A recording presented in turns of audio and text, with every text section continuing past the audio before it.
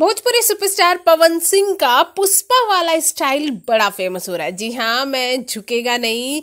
ये जो स्टाइल है पवन सिंह का, ये बहुत फ़ेमस हो रहा है। वो उसका कारण भी बताएँगे क्यों। यहाँ पर पवन सिंह अपने फैंस के बीच रूबरू हुए और फैंस ने उनका जो स्वागत किया, उससे दिल उनका गदगद हो गया। अब ऐसे में पवन सिंह ने अपने फैंस के सामने ये कहा कि अगर आपका प्यार और आपका साथ इसी तरह से मेरे साथ बना रहा। तो मैं किसी के आगे और फिर उसके बाद उन्होंने पुष्पा वाला स्टाइल किया यानी कि जो फ़िल्म पुष्पा में अलू अर्जुन ने स्टाइल किया है झु, न झुकने वाला।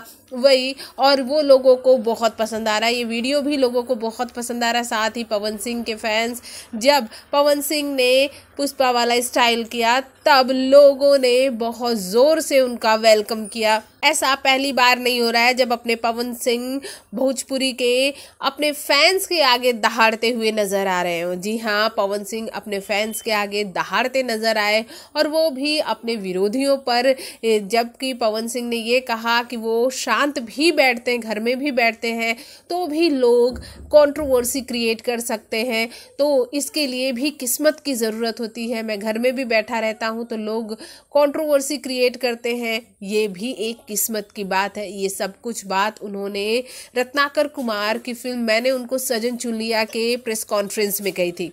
यानी कि पवन सिंह भोजपुरी के इकलौते ऐसे सुपरस्टार हैं जो कुछ भी नहीं करते हैं तो भी कंट्रोवर्सी क्रिएट होती है, ये उन्होंने बता दिया। भोजपुरी जगत की हॉट और मसालेदार गॉसिप के लिए हमें सब्सक्राइब करना बिल्कुल ना